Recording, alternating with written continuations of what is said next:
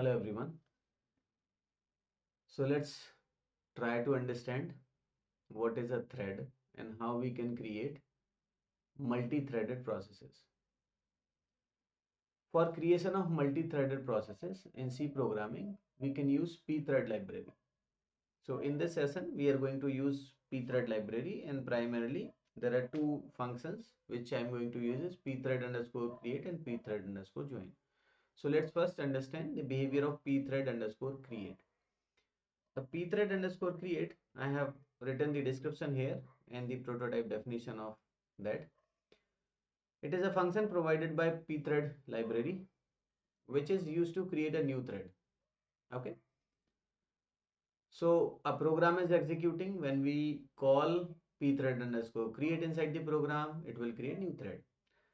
Now, in order to call this, we need to understand how many arguments need to be passed. So there are four arguments need to be passed, which I have highlighted here. So the very first argument is of type pthread underscore t.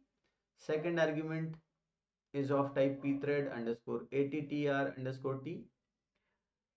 Third argument is a, a kind of function or you can say subroutine which is returning void pointer okay? And which is which can have the argument as of void pointer type. So third argument is a function. Return type of that function is void pointer. And in case that function is taking any argument it should be of void pointer type. And the fourth argument is of void pointer type because this argument we are actually passing to this function. In case we are passing. If we don't want to pass we can make it null okay. So i have written here a pointer the very first argument pthread underscore t which will be used to store the thread id so the very first argument which is of type pthread underscore t pointer type it actually stores the thread id then the next argument which is of pthread underscore attr underscore t type it is actually setting the attribute to the newly created thread so if we don't want to set any attribute, we can make it null. So in that case, if we set the second argument as null, the default attributes will be used by the system. The third argument is a pointer to a function that will be executed by a new thread. And the fourth one is the argument, any argument if we want to pass to the function that we can set otherwise it will be null. Now once we create a thread, we use another function pthread underscore join. So what is the role of the pthread underscore join? A function provided by pthread library. So we need to include that same library. And it is used to apply a wait on the currently executing thread so that newly created thread first terminate and then the your original thread should terminate. So it is used to wait for thread to complete its execution. So let's say a thread is having thread ID as thread 1. We pass that thread 1 here. If we want our process to wait for the termination of thread 1. Okay. And in case the exit status of thread 1 we want to store, we pass this argument. If we don't want to store the exit status, then this ret val, which is of pointer of void pointer type we can make it null right?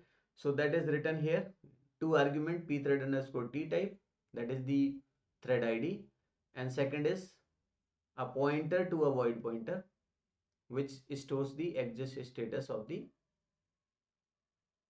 thread right? Then pthread underscore join is called whenever it is will be called the thread is blocked. So the calling thread will be blocked until the specified thread which we are mentioning like thread 1 until that thread completes its execution. So we need to be very particular in calling the pthread underscore join. Whenever we call it, the calling thread will be blocked for the execution of the thread which we are trying to join there. Okay. If the specified thread has already completed, then immediately the pthread underscore join can execute once the specified thread completes its execution, its exit status is stored in the location pointed by the void pointer. So in case you are passing any location here, the exit status will be stored there. And later on if we want to print we can. The joined thread in the terminated then the ter terminated and the resources will be available. So after joining the thread will be terminated and in case any error will be there the pthread underscore join will return the error. Okay? So now let's understand with the help of the program how to use these two functions. Okay so as i have already written some sample code in the lab manual i'm just referring that. So few of the codes i am picking from the lab manual only. I'll put these codes in the description for your reference so let's open let's say uh, we are seeing lab experiment 6 and the very first example which I have given in the lab manual please check that. So here what exactly we are trying to do? Here I have created one function which is having return type as void pointer. Okay? So whatever the function you want to call inside of thread that the return type of that particular function should be void pointer okay? The very important thing. Inside you can write anything. If you want to calculate factorial write the code of factorial. If you want to print hello world write hello world and so on.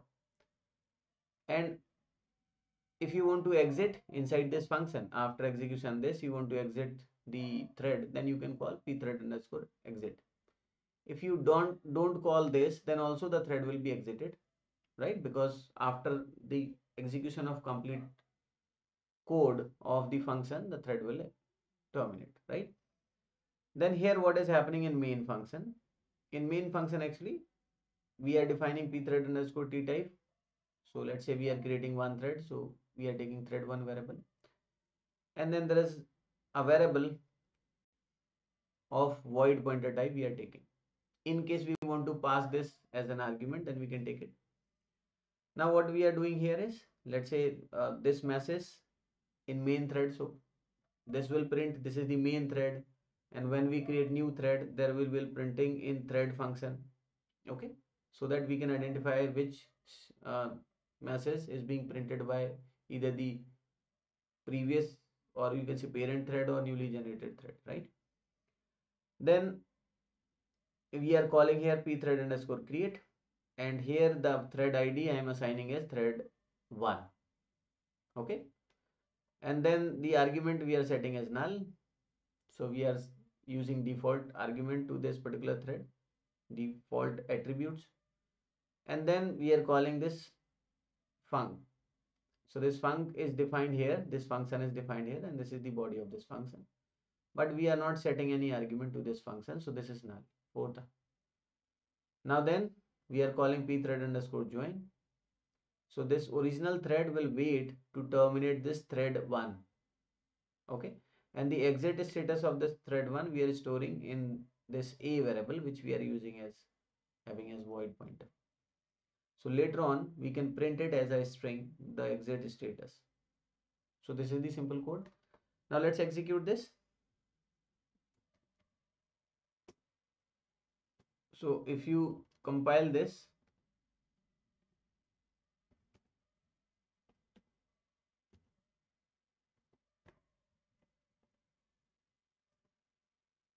it is executed fine. Uh, compiled and now execute dot slash a dot out. Now you can check. It is a main thread in thread function exit thread function so if you check the code let's say if you check the code of this particular C program the code is like this. Okay? If you apply some sleep or some something then these messages you can feel like after some point in time you feel like the messages are getting printed. So maybe you can use some sleep of 2 second 5 second in main thread or maybe in the newly generated thread then the delay of the message printing will be there. You can do it according to your need right?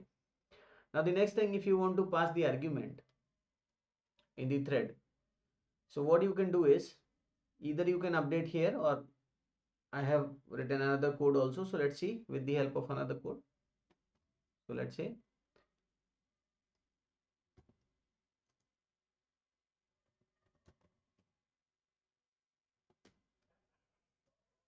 so now let's see here. I have write I have written here very simple. Let's say hello. I want to print some hello kind of message. So I have written a function like hello. But inside this function I am taking let's say i variable or any argument which is of void pointer type. Okay? Now when we are calling here inside this pthread underscore create. This is the thread id maybe thread 1 or anything you can take attributes we are setting in null. So default attribute we are picking. And we are calling this function hello.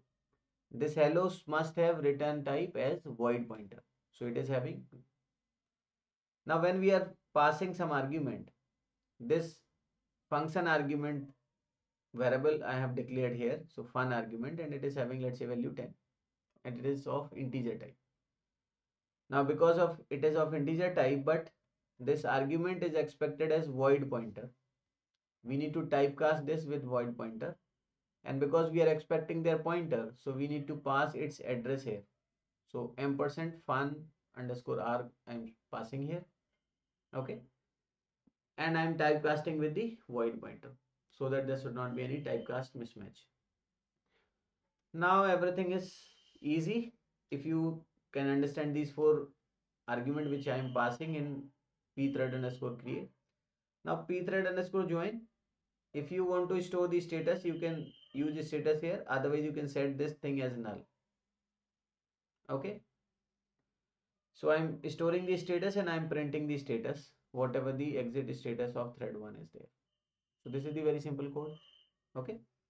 I'll provide this code also in the description. So don't worry. Now let's execute this